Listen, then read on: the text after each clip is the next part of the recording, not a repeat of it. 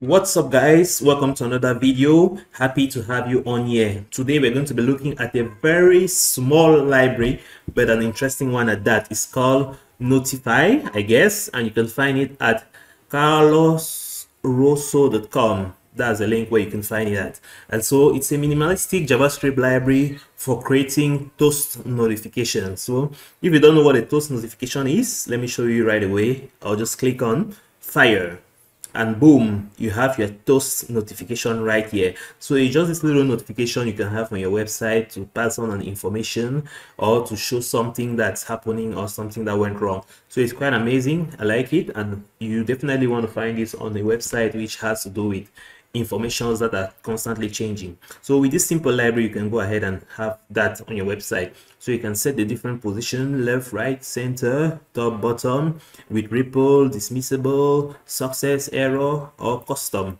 Custom option is going to allow you to set the colors and so on and so forth. You see that's just it right there. So you set the duration as well. You want it to last two seconds 20 seconds and so on and so forth. So you want it dismissible or not dismissible? So you put dismissible a little cross is going to appear here. So right now i can dismiss it. This is not dismissible. So and so on and so forth. So it's just a simple library. There isn't really much to it but it offers this amazing functionality.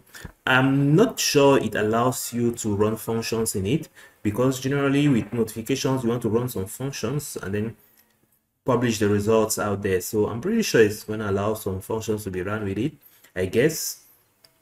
And so this is it. It's kind of simple. You can find it there and you can make use of it. So it's just a simple library. There's not much to it. I just wanted to showcase that to you. So maybe you've been thinking about how to show notifications on your websites on your projects.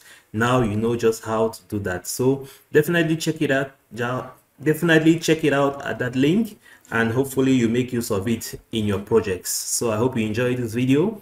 Catch you on the next one